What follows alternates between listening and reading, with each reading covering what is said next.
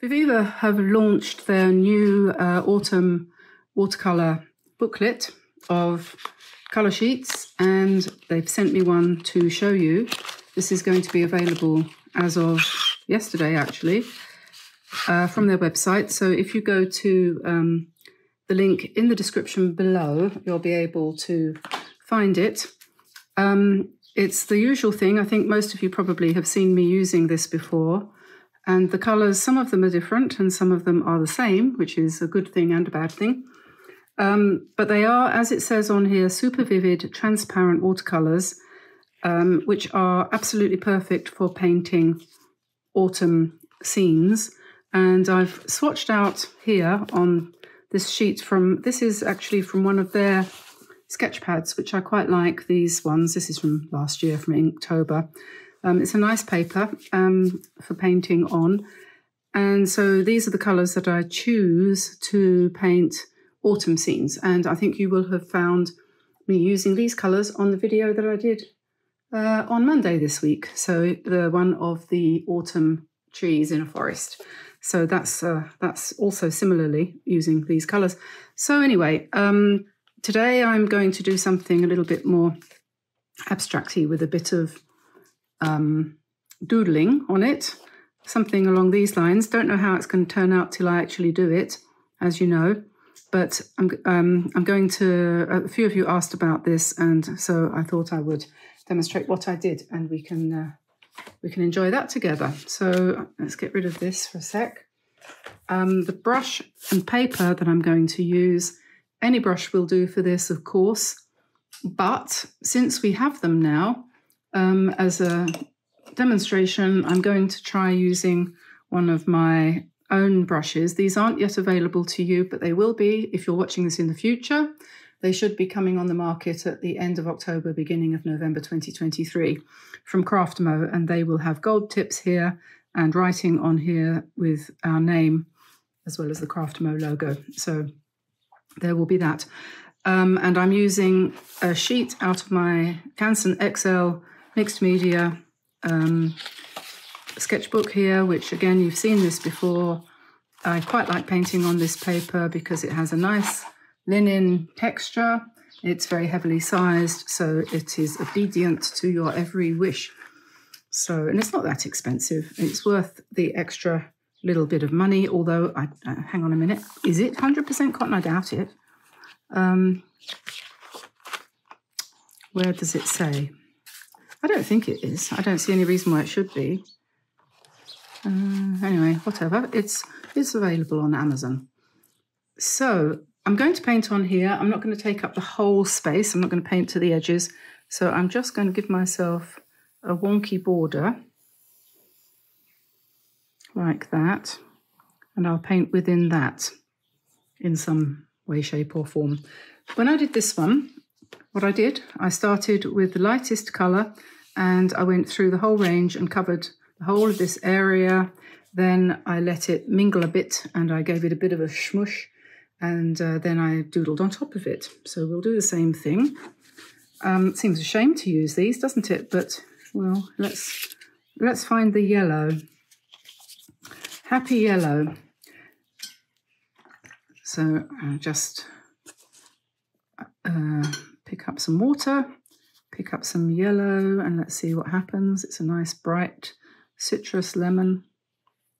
So we'll just put that in there. Then I'm suspecting that fire, fire, wasn't there a song called Fire? So Arthur, Arthur somebody or other, wasn't it? Um, so that's fire. Earth, wind, and fire. Okay, so then the next colour to that is dusk orange. That's this one. I'll put that there. Don't need to try too hard to, uh, what's the word, to control what we're doing. I think burnt sienna is the next colour that I want to use. I'm just sort of going light to dark. So hopefully there is burnt sienna. Is there not burnt sienna? Uh, peacock blue, tree bark brown, earth brown, okay. All right, well, let's let's use earth brown instead then and put that there. And then I'm going to go back to Happy Yellow.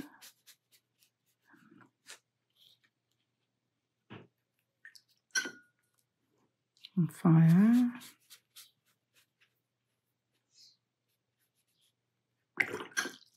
And dusk orange. How about some autumn leaf? That looks nice. That looks like burnt sienna, really. And what haven't we used yet? Brick red. How about some brick red? Oh, look at that. That's nice, isn't it? Yeah. Okay, then I'm going to go uh, down. What have we got down here? Tree bark brown. I reckon that's going to be pretty dark. I don't know what this light green is. Let's try that. That looks a bit like sap green. Yeah. Um, okay, let's go back up to fire.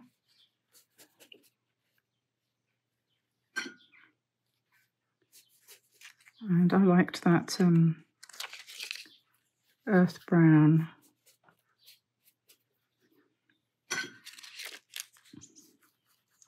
Before you say it, I will say it. Um, these do get messy, there's no doubt about it. And I wouldn't like to speak for how long each of these ones is going to last. But it's it's a fun thing to do. And um, somewhat liberating. This is the problem. That that's that's the main problem. This is a fabulous color though. Look at that. That is all that makes you think of chestnuts and things like that. And that is also a fabulous color.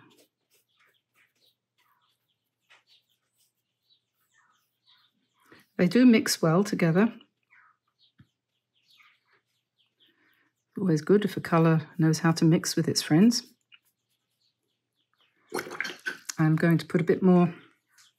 Um, ugh. See, this is this is the problem, and this is why I cut them up and put them. I lay them down, cut them up, lay them down, and let them um, display themselves.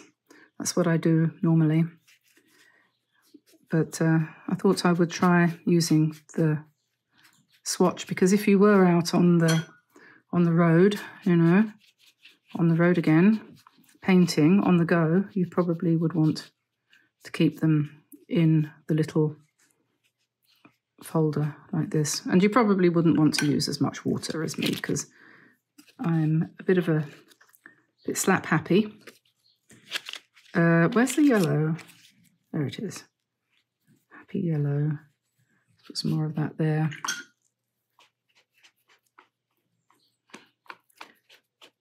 Okay, so since this is going to be a semi-abstract doodly kind of thing, this is now the point at which I let it dry and I put that away because we're done with that for the time being. And with any luck, what will happen is that sort of lumps and bumps will appear on this and it will have some character, which I can then um, enhance with pen work over the top. You know, like for example, this could turn into two trees. I don't know. I don't know what we're going to do. We might do another layer of paint as well. Just depends what happens. So I'm going to let that um, sit and do its own thing. And while we wait for that to do its own thing, I want to talk to you about a book. And um, this is an old book. This book was published in 1955, I think that's what it says. Um, yes. And then it was revised in 1976. So it was it was originally published just after I was born, and then it was revised just before Tamsin was born. So this is a long-lasting book. I don't know whether any of you will have heard of Norman Garbo. I hadn't, of course, because he's American and I'm sure I haven't looked him up, but I'm sure um, he must have died a very long time ago. This is him anyway. This is Norman. And Norman Garbo was a very good artist who won a lot of prizes and did a lot of painting. He was mostly an oil painter, but um, in this book, he talks about painting, and it's a lovely read. And I want to recommend it to you because we were talking about, you know, I said I would talk about different books that I've got in my library. I don't know where this came from. I can't remember whether I bought it in a secondhand shop here in France. It's very, very likely, maybe even in Spain. But I said, oh, it's got a, it's got something written here. It's obviously come from a shop recently. I don't know which one though. I can't remember. Anyway, it's for painters who want to um, paint, and he's he's just funny he's hilarious. I, I find him absolutely hilarious. And the funniest thing about it is that it sounds as if it was written yesterday because he says things like, um, where is it? Here, look. In fact, when I walk into an art supply or a bookstore and see the vast amount of material dedicated solely to the proposition that you too can be an artist, I can only think that never before have so many tried to teach so much to so many. That just makes me think of YouTube. I think that's so funny. Um, anyway, and then he goes on to say it might be a bit hard to believe, but he hasn't written this book just to make the shelves even more overcrowded, but because he thinks he has something to say, and he really does. So, without wishing to hammer the point home and bore you all to tears, it's all about how to draw. So, if you want to learn to draw, you could do worse than to get this book. It's really got some good information in it. How to get to grips with all sorts of things that bedevil us painters. You know, um, why don't you want to feel? Why don't you feel like painting today? Why don't you want to paint outside? Why does everything you do look wrong? How can you make things better? Even goes into a short chapter on a look at modern art, which is very interesting considering when it was written. Um, anyway, just a thought. I'm sure this is available on Abe Books or any of these places, eBay or somewhere like that would probably have it. And if you're looking for a fun read that will make you giggle a bit, um, that used to be my that was my maiden name, Norman. So I feel like I have something in common with him. My original name was Diane Norman. Um, so he's kind of, you know, connected to me in some strange way. So there we are. That's my book for the day. So a few hours have passed, um, overnight, in fact, and um, so I've let this dry completely. It's now a background. We can work on top of that. And I made a couple of photocopies of that on my not particularly special photocopier, so it's not quite the same color. Um, but it gives me an idea of what to do next by just kind of, you know, throwing a few ideas on there. And I've sort of, you know, how it is when your mood changes and you kind of move away. So I've moved away from this idea of the landscape. I've, I've kind of um, fallen in love with the idea of leaves. And I always remember a time not that very long ago when um, the leaves all fell off the trees in one fell swoop one night. And apparently it was in November, which is unusual. And um, this photo shows you what that looked like. And it was amazing. This was in Exeter. Never seen anything like it before or since. And it's sort of like the crunch of the leaves under your feet. You just wanted to roll in them. It's amazing. Don't see that very often in England because they usually get all soggy. Uh, anyway, so that's stuck in my mind. But now I have decided, so therefore I'm going to do a carpet of leaves. That's the idea here. So what I'm going to do is I'm going to, I've switched from my Viviva sheets, whoops, to the Viviva palettes. This is cork, and the same paints are in the cork holder, which is, to my mind, easier to use. I know some people like the sheets and they're kind of gimmicky and fun, but uh, for me, this is this is better. So I've switched to that because it's driving me more driving me mad. and now I'm just going to pick up different colors from here and emphasize what's here. So this one is, is brown color. So we'll pick that up and I'll just um, find myself a mixing tray so I can see what color I'm picking up. So I do that. And I think probably the best thing to do right now is to straighten the camera and um, properly. There we are. That's better, isn't it? Okay, so uh, on top of what's already there, I'm just going to paint leaves just to give myself some more shapes. And after that, we will do doodles. Uh, I don't really know quite where this is going to go. I know I've said that before. I'm saying it again. I'm not sure even whether the colour underneath is going to lift or not. This is a nice reddish colour. Reddish, reddish.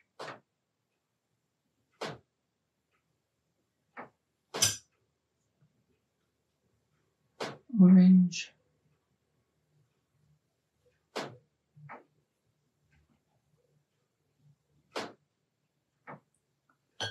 Um, this wants gold on it.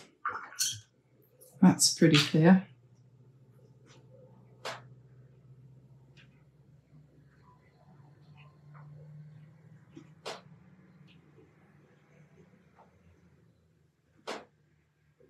So I'm just um, painting over what was underneath.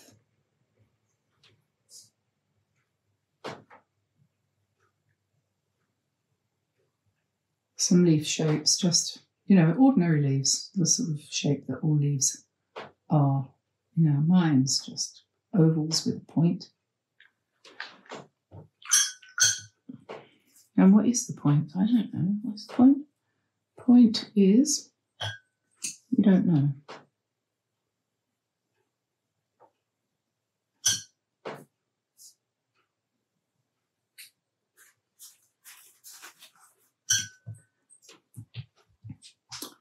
Okay, and then I've got my, here I've got my gold paints from, um, what's it called? Calero, I can never remember it's Caleri or Calero, Calero, I think. Uh, yeah, and this is what's been bugging me. I want to do something here.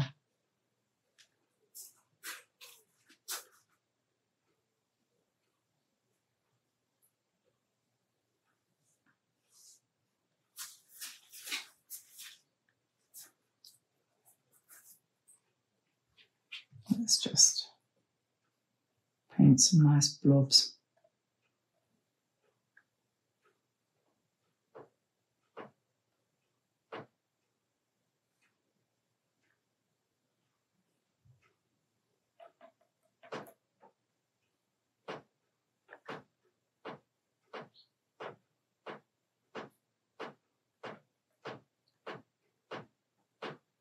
I don't think I've painted gold on top of these Viviva colours before.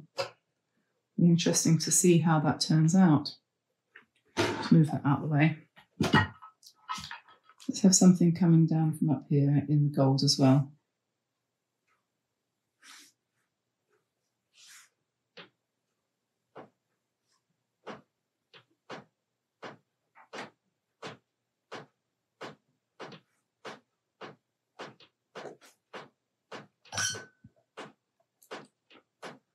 And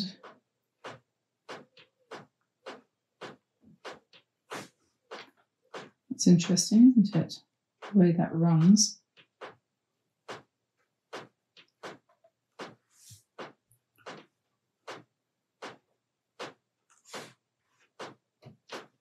Hmm. Um,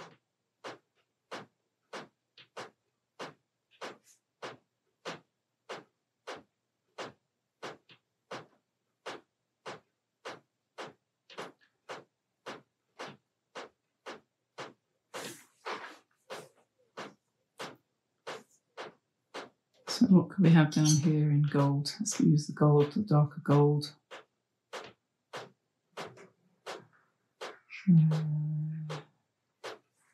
Maybe it's kind of lifting the colour underneath, which is quite interesting because it's giving a real rich effect.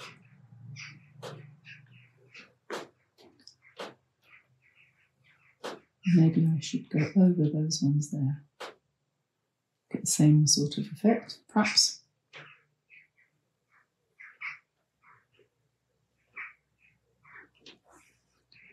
And then perhaps I'm going to go back into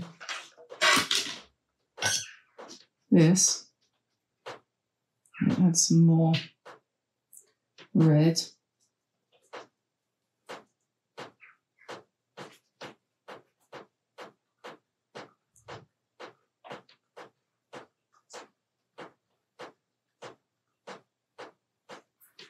It's all about exploring.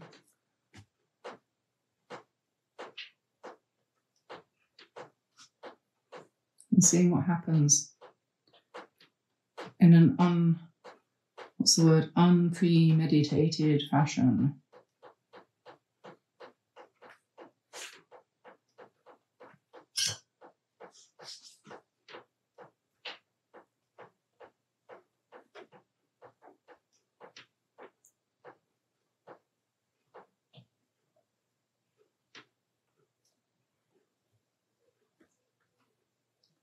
It is scary, I don't deny it. it. It's quite intimidating having to paint onto something, and I think it's knowing that you can't unpaint it, which is probably why so many people love um, digital painting, you know, using Procreate. I, have tried, I won't say I've tried it because I haven't really. I've I've turned on Procreate and up and sort of played around for five minutes enough to know that it could become incredibly addictive and it, it sets you up to be a hyper perfectionist totally. You know oh that's not quite right i'll just add this i'll just add that. Which is something you just simply can't do when you're painting with real paint. You can't i don't think you can anyway. Maybe some people can i can't keep on correcting it and going over it and so on and so forth.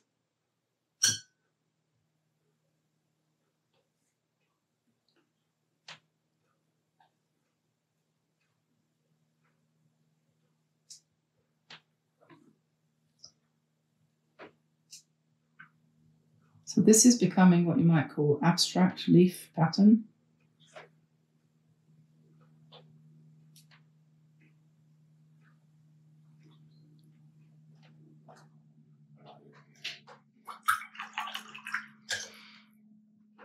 Uh, here we need some, probably some berries, big ones. Or maybe something like a spiral.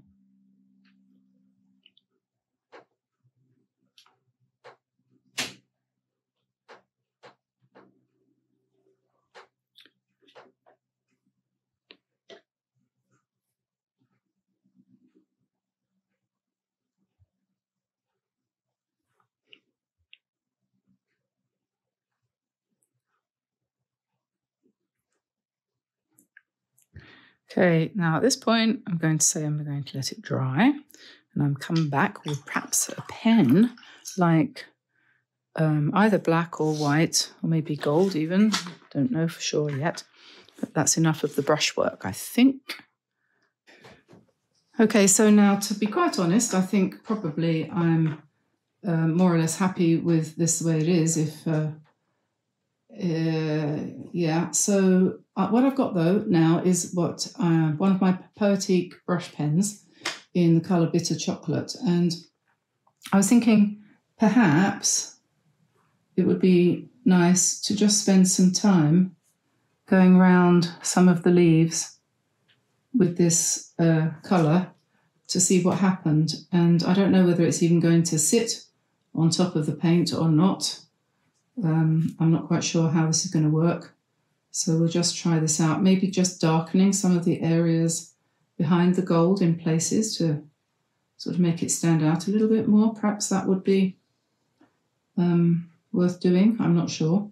So I'm just going to try and do that. I'm not not literally painting round the leaves, but just kind of, I don't know. You can see what I'm doing. And we'll see what happens when that dries. Whether that gives us more of a 3D effect, sort of like shadow behind the leaves. It might might achieve that. Could be quite interesting. Sort of going over the edges of the painted leaves so that they don't look quite so stuck on. It's pure experimentation here. And then maybe some of the others as well could benefit from similar treatment, but perhaps a finer line like that. maybe, just to embellish it a little bit. I'm trying to think of, you know, different ways of using the materials that I have to give interesting effects and, and not to just keep on doing the same old thing all the time.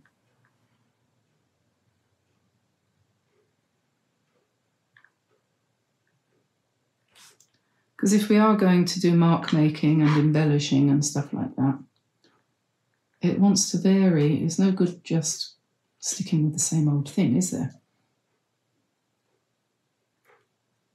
Well, not if not if you're going to call yourself an artist, anyway. If you're if you're if you're going to call yourself an artist, I think you should strive for a bit of growth. I think. I mean, there are plenty of artists who only do one thing, I suppose. Uh, are there? I don't know.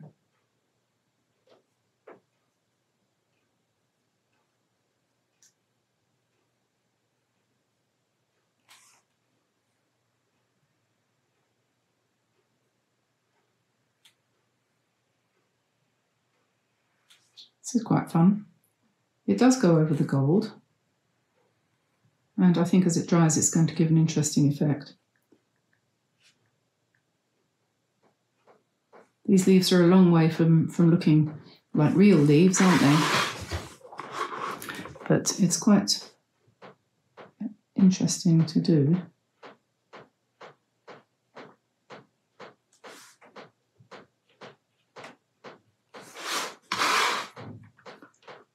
Do veins coming that way, for example.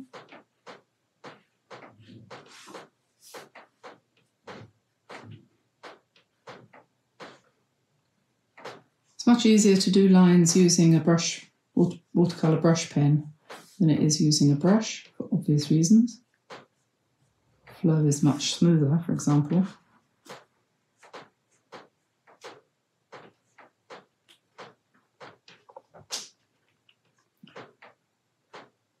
You can add berries anywhere you like very easily. They often improve a composition out of all proportion to what you would expect a little circle to do. A bit like, uh, I'm trying not to make my hand shake quite so much, um, like spirals. Spirals are good too. Put a spiral anywhere. They're symbolic you know, the old masters, like Rembrandt and so on, they used to hide symbols in their paintings that only the cognoscenti understood. If you weren't one of the ones that knew what it meant, you didn't know it was even there. Messages, secret messages.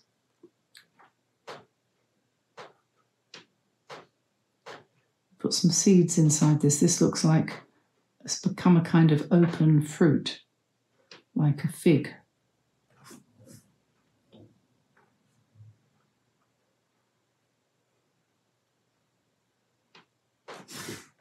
I'll put some on this one.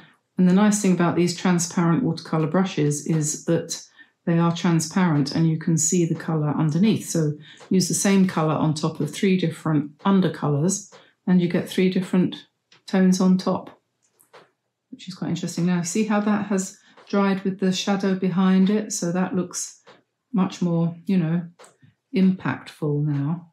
So we could do the same down here.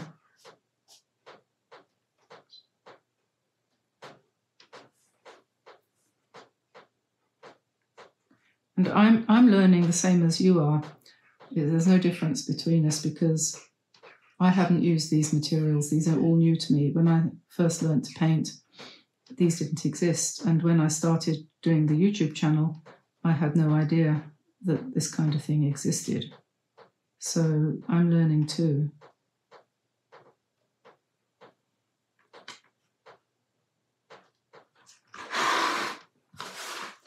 I want to put some veins in the center of this one.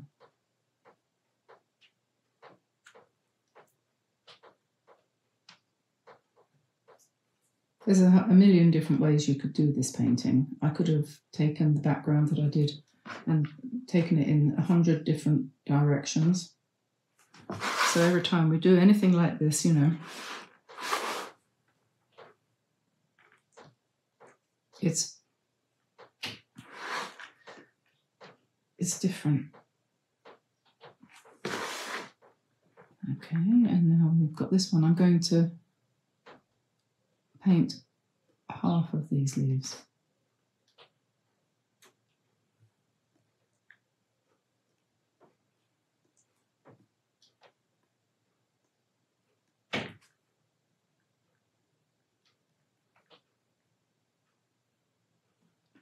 shadow behind these ones.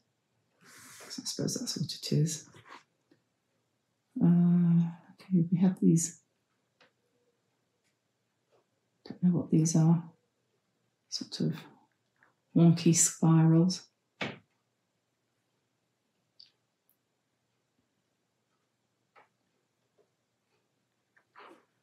Okay, I think we're coming towards the end now. I hope you enjoyed that exploring the Viviva colours, but you could use anything. And the uh, the Kuretake paints that a lot of us have got now would do a very good job of a painting like this. And I've often used them, and I will again. Uh, but ordinary watercolours too, anything. You don't need to be fussy about what paints you use. It's not. It doesn't matter. It really doesn't matter what paint you use. best thing to do is to switch off your brain and let your uh, brush do the thinking. See what I mean?